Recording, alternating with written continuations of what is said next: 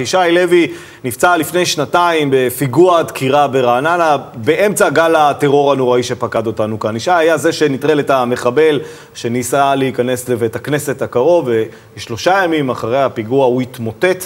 היום הוא מתמודד עם עיוורון כתוצאה מפוסט טראומה. אנחנו אומרים כאן באולפן שלום לישי לוי.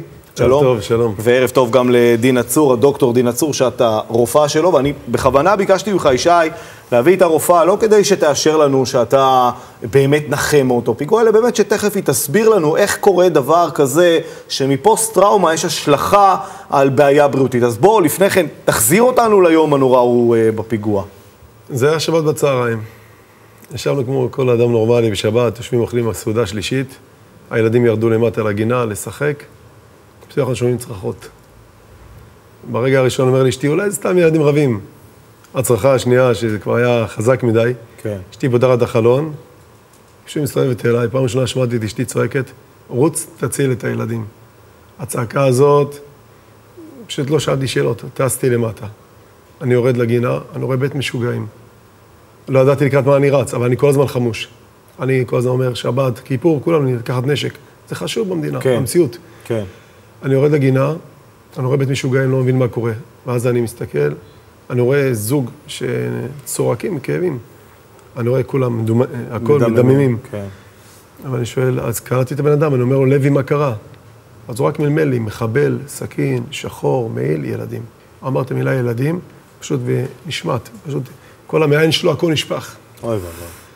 הוא, אם ו... אני לא טועה, הוא ביצע את הפיגוע הזה באמצעות סכין חיתוך, סכין יפנית, נכון? לא, סכין, סכין גדולה. חדה? זה הראשונה. זה בתחילת הפיגוע התחיל עם סכין. כן. ואני צועק לילדים שלי, נראה לאביאל, אין קול ואין עונה, אני מחבר את הכל, אשתי רוץ תציל את הילדים, אני רואה הכל דם, כן. אני נוגע בדם כבר, ואני מסיק מסקנות שכנראה כבר הנורא מכל קרה, לא הספקתי.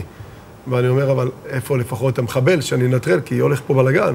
באיזשהו שלב אני פשוט קולט בזווית לכיוון הבית כנסת, רואה שתיים רצים אחד אחרי השני, ואז אני צועק פשוט בערבית, וואקף, התחלתי, סתם, זה פשוט יצא כך.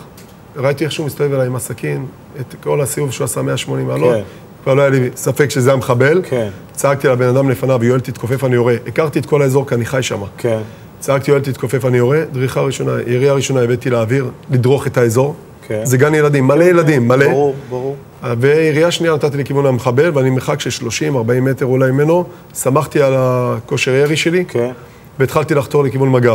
המחבל נפל, קם, התחיל לרוץ לכיוון הבית כנסת, הוא כבר איזה 15-20 מטר בבית כנסת, okay. אוקיי. הוא דוקר אישה בכניסה לבית כנסת, הבית כנסת כתוצאה מהירי כבר כולם דוחפים את הדלת מבפנים, שהמחבל לא ייכנס, הוא רואה שאני מצמצם אליו, אז הוא עוקף את הבית כנסת, ממשיך לרוץ לכיוון הרחוב. בסופו של דבר, אתה זה שנטרלת אותו? בסופו של דבר, אני זה שנטרלתי אותו, אני זה שכבר יריתי okay. בו כבר שלוש פעמים, והוא קם והמשיך לרוץ, אומרים לי שהוא היה על סמים, כל הסיפורים האפשריים.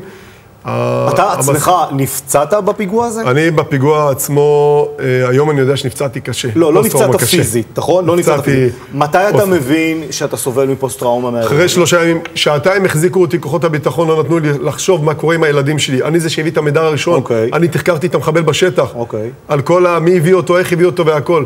אני אומר לחוקרים, יש פה שתי ילדים נהדרים, זה הילדים שלי, תעזרו לי. אני מבין שהאירוע מאוד סוער. מתי אתה מבין, בפעם הראשונה, שאתה מרגיש לא טוב מהאירוע הזה? שלושה ימים אחרי הפיגוע, פשוט קרסתי, נפלתי.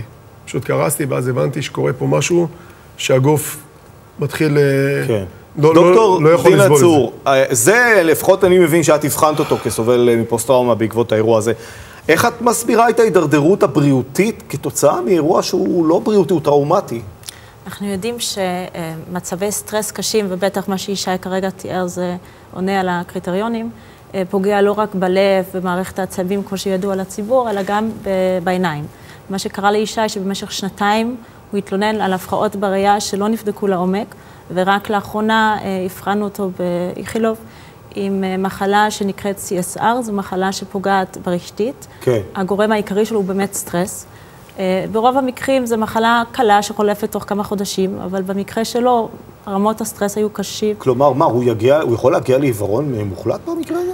במקרה שהמחלה הופכת למחלה קרונית, היא פוגעת בתאים של הרשתית שלא יודעים לחדש את עצמם, והפגיעה יכולה להיות בלתי הפיכה, כן? אוקיי.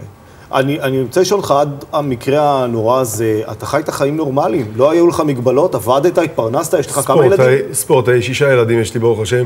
אני ספורטאי, עושה טריאטלונים, ריצות, סקיפר, גלישה, הכל, אני חי את החיים. עכשיו בוא תסביר לי איך קורה מצב שעם פגיעה כמו שלך, שהיא מוכחת וברורה, מדינת ישראל לא מכירה בך במאת האחוזים, ואתה צריך להגיע למצב ששנתיים אחרי מעשה הגבורה שלך, אתה רעב לפת לחם. מדינת ישראל קל לקבל אותי יותר מת מאשר פצוע, חד משמעי. אני פוגש את זה יום יום. אתה צודק. יותר קל לטפל בשיעור. אם היית נרצח בפיגוע הזה, המשפחה שלך הייתה היום במצב הרבה יותר טוב כלכלית. סליחה שאני אומר את זה בצורה בוזרת. זאת עובדה, אני נחשף לזה. אני חבר בארגון נפגעי פעולות איבה ואני רואה את זה. נפגעי טראומה, פוסט-טראומה, סובלים במדינת ישראל. אין הכרה, אין מודעות, לא מבינים מה זה פוסט-טראומה, חושבים שזה רק כדור פסיכיאטרי, זה אומר קנאביס, כל אחד אומר משפט אחר, לא מבינים שכן, יש פה דברים שמחזיקים אותנו כן. היום, וזה הלחימה היומיומית. אני פוסט-טראומה, אין יום, אין לילה, אין חיים, אין חיים, המציאות השתנתה, כל כן. החיים השתנו, והיום כן. אני זועק את הזעקה הזאת, אני חושב אולי, אם זה כבר הבמה, כן. פשוט בשביל כן. כולם, אבל ביטוח לאומי לא מכיר בזה. מזלזלים בנו, לא נותנים לנו את מה שמגיע לנו. ישי, תראה, כל, כל המאמצים שלנו זה רק באמת לפנות לצופים ולנסות לסייע לך, אני מבין שהקמת גם אתה קמפיין אה, גיוס המונים. גיוס המונים. להגיע אליך זה לא יהיה קשה בכלל, אני מאחל לך רק בריאות. תודה כן. רבה לך שבאת, תודה רבה גם לך. תודה רבה. ובאמת, באמת, אה, רק בריאות, הנה הקמפיין שלך על המסך.